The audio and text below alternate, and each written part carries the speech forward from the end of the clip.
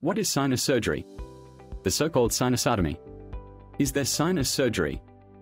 Many people do not even know that there is sinus surgery. So, if you arrived here on the channel, subscribe, activate the notifications, that we have a lot of interesting content about otorhinolaryngology and with several tips for you to solve your problem in your home. So, let's go to the video. To start, sinus surgery is done in special cases. Not everyone has sinus surgery and has to do this surgery. But what are the indications? First, you have to have chronic sinus surgery and this is in contrast to an effective clinical treatment. That is, you have sinus surgery of difficult control, was properly medicated, performed the treatment correctly and then your otorhinolaryngologist doctor verified that you have surgical indication. Remember, we have several videos here, I will put here about sinusitis, rhinitis, flu. Sometimes it seems that everything is the same, but each one has a difference and you will be able to learn what each one is. Because a lot of people say they have sinusitis and actually, he's having sometimes some acute sinusitis cases, but he doesn't have chronic sinusitis, which is that persistent state of sinusitis. Well, taking the proper care with diagnosis if you are a patient with chronic sinusitis, which is the one that does not respond to clinical treatment, you must have a tomography. Let's put an example of this tomography here. Inside the sinus of the face, you will see by the tomography that it has more serious alterations, which is a thickening of the bone that is seen here. In rare cases there may even be fungus inside the breasts of the face. Let's see this tomography here, this is a fungus region. So you can have several types of chronic sinusitis and several changes in the tomography that suggest us that that chronic sinusitis has surgical indication. So, there are basically two types of sinusitis, there is the chronic sinusitis polypoid and the chronic sinusitis polyp. What is the polyp? Polyp is a hypertrophy, it abnormal tissue growth on a mucous membrane. There are several growths that generate these polyps. I will show here in this figure, look how a polyp is in the nose. So, these polyps occupy the nose, can obstruct and obstructing causing chronic sinusitis because our nose will not be able to drain, accumulate secretion there. And the polyp, the nasal polyposis, who is polyp can be associated with several diseases, especially asthma, bronchitis. And these patients may have an allergy, aspirin, some anti-inflammatory or simply have polyp without other causes. The point is, who is polyp has a chronic sinusitis already more difficult treatment and may need special care. Now, there is that person who is chronic sinusitis, not polypoid, that which is not a polyposis and have changes in the mucus, in the formation there inside the nose, inside the drainage regions of these paranasal sinus and create a permanent state of chronic sinusitis, which is a state of sinusitis that does not improve regardless of clinical treatment,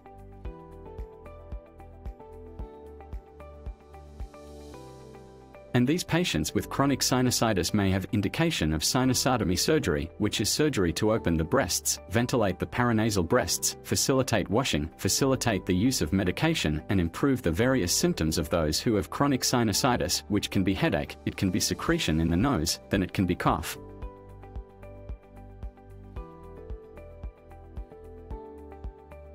There are several symptoms that lower the patient's quality of life and surgery can add a lot in the improvement of the clinic of people who have chronic sinusitis. Here I will show, for example, a surgery of chronic sinusitis. Here, look, we're removing the polyps with a special device, we go through this, called shaver. It is a device that removes the polyps, it sucks and cuts and greatly facilitates polyposis surgery, but can be removed with tweezers too. But we tend to use technology in our favor.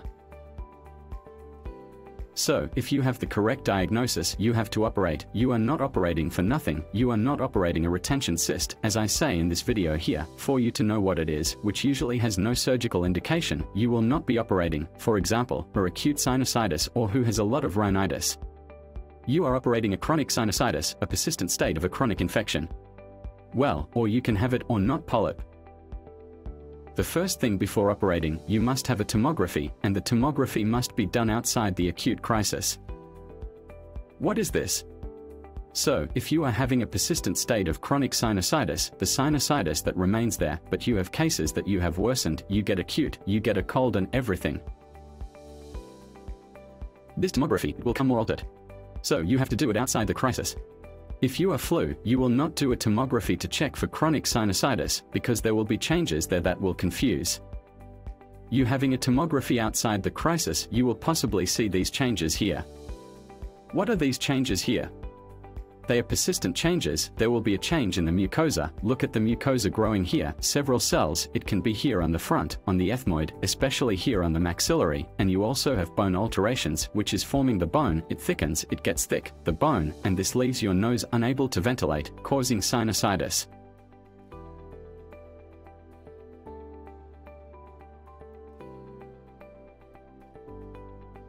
The cat eye can even accumulate within the paranasal sinus, Let's go to what surgery is interested in. After all, then, how is sinusitis surgery? As I said, many people don't even know there's surgery for sinusitis. First, surgery is done mostly with the endoscope. This here, for example, this is an optic, and in this optic we can have a visualization, as if it were a camera, we will visualize here, we'll match a camera, and this camera will show on a screen all the surgery for us, and down here there is the area where we put a light.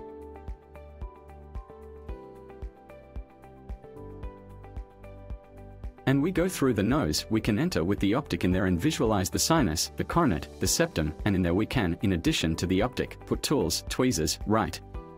Let's put here, for example, removing tweezers, we can operate the septum, operate the turbinate. Here I will also put for you to see here, opening a sinus, removing a secretion from inside, so we can do several procedures with the optic, with the material, with tweezers, with that shaver to remove the polyps,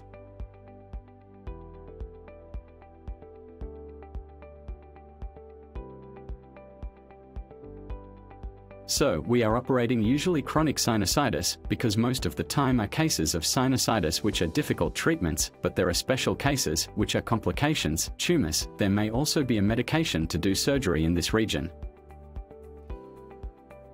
But why? How does surgery work? How does it improve sinusitis? Look, the mucosa of our nose that is inside, it is very thin, it is almost a carpet, a thin film who has a lot of sinusitis, this mucosa, it thickens, it gets thick, look, it gets thick, thick and it ends up obstructing the paranasal sinus. The paranasal sinus are like rooms, shops, like that, that have a door, this door is the osteo. And if this door is closed, if the osteo is obstructed, because this mucosa is filled, inside it will not ventilate the eyelashes, which are those movements of the mucosa. The eyelashes will not be able to remove the secretion, that secretion will be accumulated there and will be in a permanent state of sinusitis. So, it's called chronic sinusitis. And as we operate and open these sinus, the air will pass there better, it will ventilate better, and it has a great advantage. You will be able to wash your nose with quality. When you throw the serum, when you do your washing, the serum will be able to get in there what was closed before. So, if the surgery was of quality, if you were well operated and if you did all the post-operative care properly, that mucosa that was thick before, it gets thinner and thinner. And then you get your sinus open, they will be able to ventilate. So, after we operate the nose, the nose will stay, look, like in this video here, it will stay with open sinus, more ventilation inside these sinus and you will be able to wash better, with higher quality, your serum and often even with medications in this serum or corticoid sprays, which will be part of your treatment. And then it will depend on each surgery, each postoperative care, each patient in a way. I'm not here to talk about a specific postoperative care treatment, but you imagine, comparing, it's like our house, let's say there are several rooms and the rooms have the door closed, the window closed, it gets more difficult to ventilate, the dust gets more caught there.